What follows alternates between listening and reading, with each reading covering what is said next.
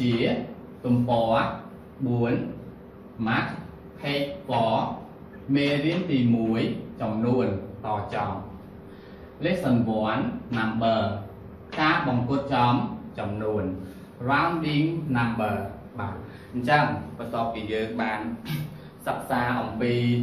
ចំណងយើងរួចកូនដឹងថាតើការបង្គុតចំនួនហ្នឹងគឺចង់បានន័យថាម៉េច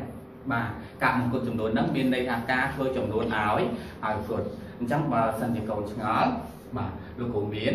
ឧទាហរណ៍សម្រាប់កូនកូនទាំងអស់គ្នាសិក្សាតោះឥឡូវទៅមើលឧទាហរណ៍ទាំងអស់គ្នាបាទអញ្ចឹងនេះគឺជាឧទាហរណ៍ដែលលោកគ្រូត្រៀមសម្រាប់កូនកូនទាំងអស់គ្នាតោះឥឡូវយើងមកមើលឧទាហរណ៍ជាមួយលោកគ្រូទាំងអស់គ្នាបាទឧទាហរណ៍កបង្គុតចំនួន2លាន7សែន82150 50ត្រឹមខ្ទង់ខ្ទង់លានអញ្ចឹងគេឲ្យយើងបង្គុតចំនួនត្រឹមខ្ទង់ខ្ទង់លាន លោកគ្រូបានរៀបចំជាបន្តចំនួនមួយដើម្បីកូនទាំងអស់គ្នាងាយងាយយល់ណាអញ្ចឹងបន្តចំនួនរបស់លោកគ្រូគឺមួយក្រិតមានចំនួនមួយណាអញ្ចឹងក្រិតមួយមួយហ្នឹងគឺវាស្ថិតនៅក្នុងខ្ទង់ខ្ទង់សែនបាទហេតុអីបានជាវាក្រិតនៅក្នុងខ្ទង់សែនកូនគិតមើលដោយសារតែចំនួនរបស់យើងគឺគេឲ្យបង្គុតត្រឹមខ្ទង់លានអញ្ចឹងកូនត្រូវបង្គុត សំទោសកូនត្រូវមើលខ្ទង់ខាងស្ដាំបានបន្ទាប់ចុះបន្ទាប់ពីខ្ទង់លានគឺខ្ទង់ខ្ទង់ខ្សែអញ្ចឹងបន្ទាប់មកលោកគ្រូគឺក្រិតមួយខ្ទង់មួយខ្ទង់សំទោសក្រិតមួយមួយគឺវាស្ថិតនៅក្នុងខ្ទង់ខ្ទង់ខ្សែអញ្ចឹងកូនរកមើល1សែន2សែន3សែន4សែន5សែន6សែន7សែន8សែន9សែននិង10 10សែនអញ្ចឹងចំនួនរបស់យើងគឺគេឲ្យត្រឹម7 7សែនអញ្ចឹងចំនួនកន្លែងនេះគឺ7សែនប៉ុន្តែចំនួន7សែននេះគឺ វាជា7សែនគាត់ប៉ុន្តែចំនួនដែលគេឲ្យគឺ7សែន8 80000អញ្ចឹងគ្រូសន្និដ្ឋានថាកន្លែងនេះវាជា7សែន8 80000បាទអញ្ចឹងកូនមើលមើលថាតើចំនួន7សែន80000 2150វានៅគៀក2លានជាងឬក៏វានៅគៀក3លានជាងណាឥឡូវយើងឃើញជាក់ស្ដែងថាចំនួនរបស់យើងគឺវាស្ថិតនៅគៀក3លានជាងបាទ អញ្ចឹងយើងអាចសន្និដ្ឋានបានថាចំនួនរបស់យើងអាចបង្គុតឡើងមក3 3លានបាទអញ្ចឹងចំនួនរបស់យើង2លាន7សែនសំទោស2លាន7សែន82150គឺយើងបង្គុតឡើងទៅ3 3លានឥឡូវលោកគ្រូចង់សួរកូនទាំងអស់គ្នាមួយទៀតណាអញ្ចឹងបើសិនជាយើងបង្គុតដោយអត់ប្រើបន្តចំនួនតើកូនអាចបង្គុតយ៉ាងម៉េច បាទលោកគ្រូមានវិធីសាស្ត្រមួយទៀតដើម្បីកូនងាយយល់ណាងាយនៅក្នុងការបង្គុតដោយមិនបាច់ប្រើបន្តចំចំនួនគឺយើងគ្រាន់តែមើលនៅខ្ទង់ខាងស្ដាំបន្តបន្ទាប់ដែលយើងត្រូវបងបង្គុតអញ្ចឹងគេឲ្យបង្គុតត្រឹមខ្ទង់លានអញ្ចឹងខ្ទង់ខាងស្ដាំបន្ទាប់គឺខ្ទង់ខ្ទង់សែនបើសិនជាខ្ទង់សែនរបស់យើងវាជាលេខ5លេខ6លេខ7លេខ8លេខ9គឺយើងត្រូវបង្គុតបង្គុតឡើងតែបើសិនជាវា ជាលេខ4លេខ3លេខ2លេខលេខ1ឬក៏លេខ0យើងត្រូវបង្គុតបង្គុតចោលបាទបាទឥឡូវលោកគ្រូមានឧទាហរណ៍មួយទៀតតោះឥឡូវយើងមកធ្វើឧទាហរណ៍ជាមួយលោកគ្រូទាំងអស់គ្នាខបង្គុតចំនួន5លាន6សែន23500មួយត្រឹមខ្ទង់ខ្ទង់មើលអញ្ចឹងកាលណាតែគេឲ្យយើងបង្គុតសំទោសខ្ទង់ខ្ទង់សែន បាទអញ្ចឹងកាលណាតែគេឲ្យយើងបង្គុតត្រឹមខ្ទង់សែនយើងត្រូវមើលខ្ទង់ខាងស្ដាំបានបន្តអញ្ចឹងយើងមើលខ្ទង់ខាងស្ដាំបន្តអញ្ចឹងគឺជាខ្ទង់អ្វីកូនដឹងអត់បាទគឺជាខ្ទង់ខ្ទង់មើលអញ្ចឹងយើងឃើញថាខ្ទង់មើលនៅចំនួនដែលគេឲ្យនេះគឺវាជាលេខជាលេខ2អញ្ចឹងកូនដឹងណាថាត្រូវបង្គុតយ៉ាងម៉េចបាទគឺយើងត្រូវបង្គុតបង្គុតចោលឥឡូវយើងមើលបន្តដែលលោកគ្រូបានធ្វើឲ្យកូនទាំងអស់គ្នាបាទអញ្ចឹងកាលណាគេឲ្យយើងបង្គុតត្រឹមខ្ទង់ខ្សែអញ្ចឹងត្រឹមតែក្រិតមួយខ្ទង់នេះគឺវាជាខ្ទង់ខ្ទង់ម៉ឺនអញ្ចឹង10000 20000 30000 40000 50000 60000 70000 80000 90000និង100,000ណាប៉ុន្តែចំនួនដែលគេឲ្យគឺវាត្រឹមតែ20000ទេអញ្ចឹង20000គឺនៅកន្លែងប៉ុន្តែ20000របស់ចំនួនដែលគេឲ្យគឺ23000 3000អញ្ចឹងគ្រូសន្និដ្ឋានកន្លែងនេះ23000 3000អញ្ចឹងយើងមើលចំនួនយើងថា23000នៅកន្លែងហ្នឹងវានៅគៀក5លាន6សែនជាង ឬក៏វានៅគៀក5លាន7សែនជាងបាទអញ្ចឹងយើងឃើញជាក់ស្ដែងថាវានៅគៀក5លាន6សែនជាងបាទអញ្ចឹងយើងអាចសន្និដ្ឋានដឹងថាចំនួនរបស់យើងបង្កត់បង្កត់ចោះមកត្រឹម5លាន6 6សែនបាទអញ្ចឹងដោយលោកគ្រូបាននិយាយអញ្ចឹងបើសិនជាចំនួនរបស់យើងខ្ទង់បន្ទាប់របស់យើងវាជាលេខ4 3 2 1និងលេខ0គឺយើងត្រូវបង្កត់ បបង្គត់ចោះបាទអញ្ចឹងចំនួនរបស់យើង5លាន6សែន23501គឺយើងបង្គត់ចោះត្រឹម5លាន6 6សែនបាទអញ្ចឹងកូនអាចកូនអាចសរុបរួមមកថាក្នុងការបង្គត់ចំនួនបើសិនជាគេឲ្យយើងបង្គត់ត្រឹមខ្ទង់លានយើងត្រូវមើលខ្ទង់ខាងស្ដាំបន្ទាប់ដែលជាខ្ទង់ខ្ទង់សែនបើសិនជាវាជាលេខ5 6 7 8និង9យើងត្រូវបង្គត់បង្គត់ឡើងតែបើសិនជាវាជាលេខ4លេខ3លេខ2លេខ1និងលេខ0យើងត្រូវបង្គត់បង្គត់ចោលបាទឥឡូវបន្ទាប់ពីយើងសិក្សានៅឧទាហរណ៍ហើយតើបងប្អូនទាំងអស់គ្នាចូលរួមទាញបញ្ញត្តិជាមួយនឹងលោកគ្រូទាំងអស់គ្នាបាទអញ្ចឹងដើម្បីបង្គត់ចំនួនតើកូនត្រូវធ្វើដូចដូចម្ដេចមើលកូនចូលរួមឆ្លើយមកបាទល្អណាស់ដើម្បីបង្គត់ចំនួន យើងត្រូវមើលខ្ទង់ខាងស្ដាំបន្ទាប់ដែលត្រូវបងបង្គត់បានខ្ទង់នោះជាលេខ0 1 2 3 4យើងត្រូវបង្គត់បង្គត់ចោលតែបើខ្ទង់នោះជាលេខ5 6 7 8 9យើងត្រូវបង្គត់បង្គត់ឡើងបាទល្អណាស់អញ្ចឹងកូនទាំងអស់គ្នាយើងទៅមើលបញ្ញារបស់លោកគ្រូទាំងអស់គ្នាថាតើកូនឆ្លើយបានត្រឹមត្រូវដែរដែរឬទេតោះ បាទអញ្ចឹងនេះគឺជាបញ្ញត្តិរបស់លោកលោកគ្រូតោះឥឡូវយើងចូលរួមអានបញ្ញត្តិជាមួយលោកគ្រូទាំងអស់គ្នាបាទបញ្ញត្តិដើម្បីបង្គត់ចំនួនត្រូវមើលខ្ទង់ខាងស្ដាំបនបន្ទាប់ដែលត្រូវបងបង្គត់បាទមួយបាខ្ទង់នោះមានលេខ0 1 2 3 4ត្រូវបង្គត់បង្គត់ចោះបើខ្ទង់នោះមានលេខ5 6 7 8 9ត្រូវបង្គត់បង្គត់ឡើងបាទអញ្ចឹងលោកគ្រូសូមបញ្ជាក់ម្ដងទៀតក្នុងការបង្គត់ចំនួនយើងត្រូវមើលខ្ទង់ខាងស្ដាំបន្ទាប់នៃចំនួនដែលយើងត្រូវបងនៅខ្ទង់ដែលយើងត្រូវបងបង្គត់បើខ្ទង់បន្ទាប់ជាលេខ0លេខ1លេខ2លេខ3និងលេខ4យើងត្រូវបង្គត់ចោះតែបើខ្ទង់បន្ទាប់ជាលេខ5លេខ6លេខ7និងលេខ8យើងត្រូវបង្គត់បង្គត់ឡើងបាទឥឡូវបន្ទាប់ពីយើងសិក្សានៅ បញ្ញត្តិចោលណាលោកគ្រូបានរៀបចំជាមួយនឹងពីកលឹះមួយចំនួនដែលកូនទាំងអស់គ្នានឹងជួបនៅក្នុងលំហាត់បន្តបាទអញ្ចឹងតោះឥឡូវទៅមើលពីកលឹះជាមួយលោកគ្រូទាំងអស់គ្នាបាទសិក្សាពាក្យកលឹះ1បង្គត់ថ្នាក់ពាក្យជាកិរិយាសព្ទមានន័យថាធ្វើឲ្យឲ្យគត់ឧទាហរណ៍សខាបង្គត់ចំចំនួន2បង្គត់ត្រឹមខ្ទង់លៀនថ្នាក់ពាក្យជាកិរិយាសព្ទមានន័យថា ធ្វើឲ្យគត់ត្រឹមខ្ទង់លៀនឧទាហរណ៍ធីតាបង្គត់ចំនួនត្រឹមខ្ទង់លៀន3បង្គត់ត្រឹមខ្ទង់សែនតាក់ពាក្យជាកិរិយាសព្ទមានន័យថាធ្វើឲ្យគត់ត្រឹមខ្ទង់សែន